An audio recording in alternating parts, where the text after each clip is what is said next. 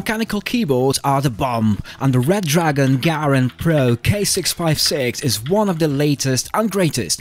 It's got a retro 80s vibe, RGB lighting and premium mechanical switches. Seriously, if I could build my own keyboard, this is what it would be. In this video, I'm going to show you everything you want to know about the Redragon Garen Pro, also known as the Redragon K656.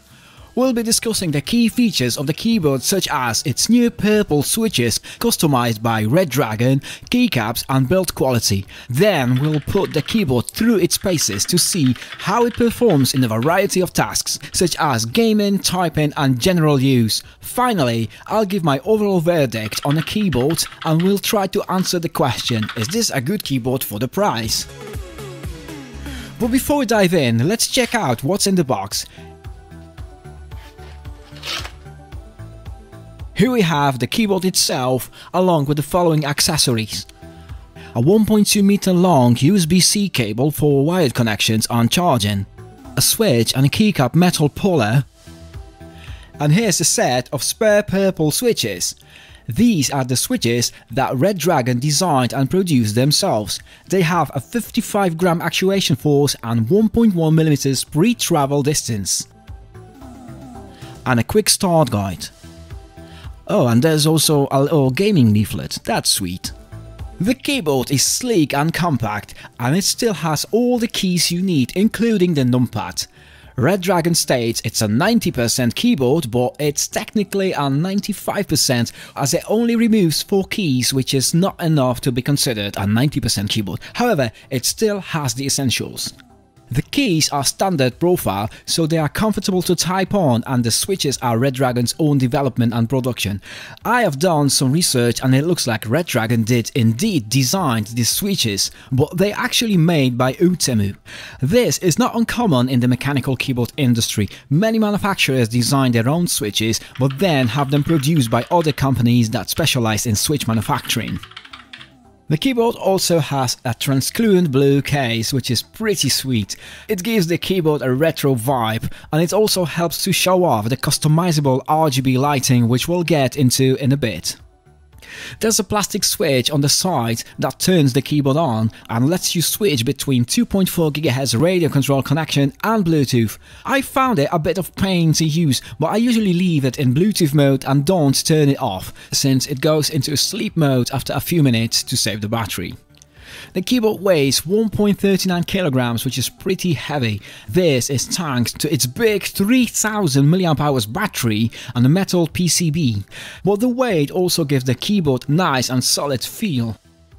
This hot swappable keyboard lets you swap out the keycaps and switches to find a perfect feel and sound.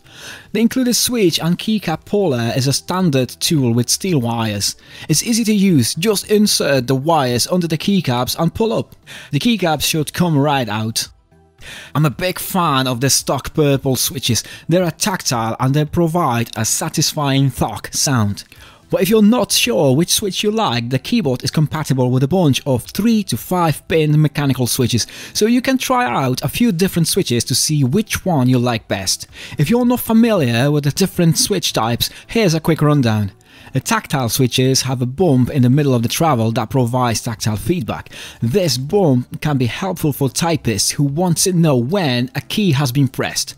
Popular colors include brown, clear and purple.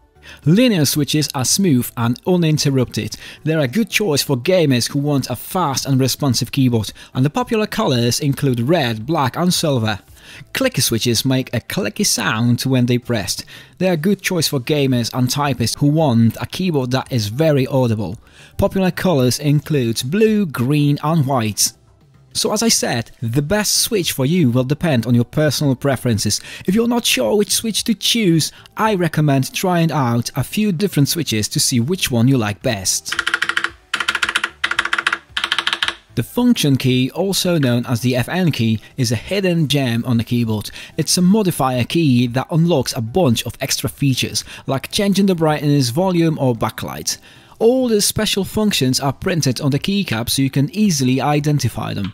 For example, holding down the FN key and pressing 1, 2 or 3 switches between the three Bluetooth device connections. FN and 4 records the 2.4 GHz connection. FN with any of the F keys gives you access to multimedia options such as play, pause, rewind or emails. FN pressed with the insert key changes the RGB lighting pattern. So there you have it, the FN key is a pretty handy little thing. Experiment with it and see what else you can do. So the keyboard has a sick RGB backlight that you can change to different modes. To do this, just hold down the FN key and press the insert key. The keyboard will cycle through the different modes so you can find the one that you like the best. If you want to change the speed of brightness of the backlight, just press the FN key and press the arrow keys. To the left is brightness and to the right is speed. If you want to change from dynamic RGB to static single color, hold down the FN key and press the enter. You can also customize the backlight to your liking using the keyboard software, however the software is only compatible with Windows. Right, let's check the connectivity. The keyboard has three different connection modes, USB-C wired, Bluetooth 3.0 and 5.0 and 2.4 GHz radio control dongle. This gives you a lot of flexibility for different usage scenarios. In the wired mode the keyboard worked as expected, with no missed keystrokes or latency. If you're into gaming, the 2.4 GHz connection might be your second best option after the wired one. It's slightly faster than the Bluetooth connection. We tested that with my son within a range of 4 to 5 feet of the dongle and it was still accurate. To connect via Bluetooth, flip the switch on the side of the keyboard. You can connect up to 3 devices with the keyboard at the same time and switch between them by pressing FN with either 1, 2 or 3. I'll connect the keyboard to my Android phone. But before we carry on, make sure you're subscribed.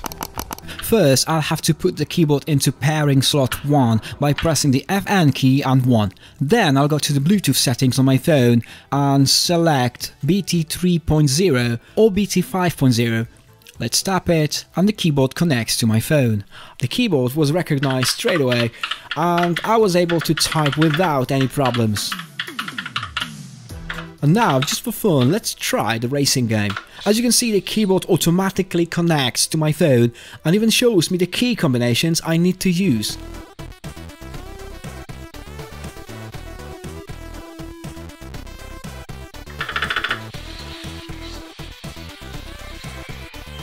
The keyboard also works seamlessly with iPads and iPhones. To connect it to an iPad or iPhone, simply put the keyboard into pairing mode and again select BT 3.0 or BT 5.0 from the Bluetooth settings on your device. I tested the keyboard with my wife's iPad Air and it worked perfectly. The keyboard was recognized straight away and I was able to type without any problems. It also works great with the Android tablets. The keyboard is being recognized straight away. My son is helping me with this again. Alright, let's connect it to my iMac now. If for some reason the pairing doesn't work or if you previously assigned some other devices to the keyboard, you can reset the Bluetooth connections by pressing and holding the FN key and all three of the keys 1, 2 and 3 for around 5 seconds. Here we go. It paired instantly again and the connection is rock solid. I'm really happy with it. I haven't noticed any missed keystrokes, everything just works like a dream. It is fine for the gaming, but I'm very tempted to do some typing tests. The typing experience on the Garen Pro is top notch. The keys have a satisfying thunk that lets you know that the key has been registered. This is crucial for touch typists as it helps you to know when you press the right key. I'm a horrific typist, but I can tell that the keyboard provides a silky smooth and responsive typing experience. This is in contrast to a regular laptop keyboards that often have a mushier feel and lack the satisfying tactile feedback of the mechanical keyboards. I did find that I wasn't mispressing keys or pressing two at the same time when I first started typing on it. I'm used to a low profile Apple Magic keyboard, but I got used to the higher profile and I was able to type without any major random slips. Overall, I'm really happy with the typing experience on this keyboard. It is a considerable gadget for anyone who wants a smooth, responsive and satisfying typing experience. Just need to type faster.